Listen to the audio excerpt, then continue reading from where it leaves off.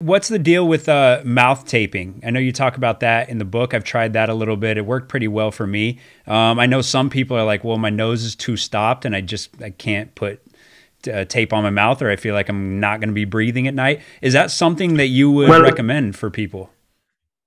Totally, totally. And we have our own tape, and I don't want to plug it, but we do have our own tape which surrounds the mouth because a lot of people think this is so off the wall, taping the mouth closed at night the tape that we use is an elasticated strip, kinesio tape, and it's stretchable and it's specifically formulated for the for around the mouth.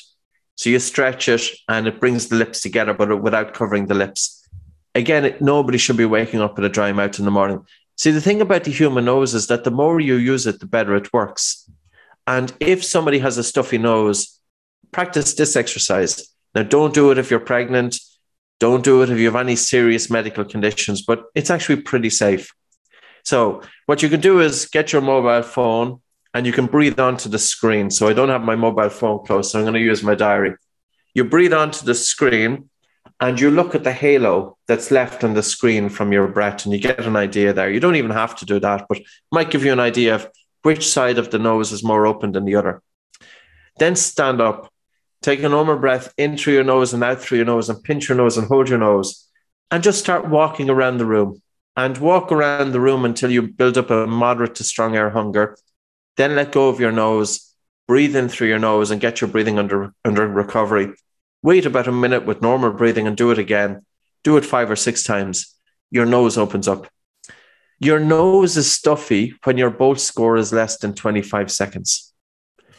Get your Bolt score above 25 seconds. And if you have a reversible nasal obstruction, your nose will be much more open.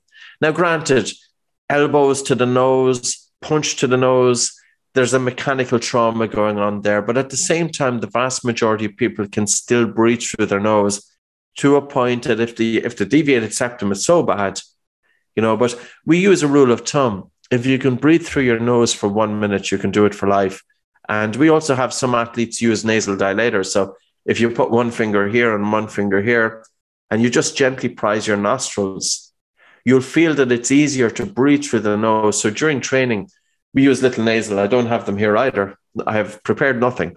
So you have a nasal dilator that's opening up the nose. And at least now you wouldn't wear this during a game, but you could wear it if you're going for a jog or if you're in the gym by yourself and you're doing your own routine at least it allows you to maintain nasal breathing to get the benefits of it, but it just helps to open up the anatomy so that you can add an extra load onto onto your your body. Love it. So do whatever you can to get air in through the nose, whether that's dilator, whether that's the the the breath holding exercises, and then while you're in that good state where you can get air in, start breathing through the nose. And the more you do that, the more it'll just become kind of second nature and it'll yes. naturally open up.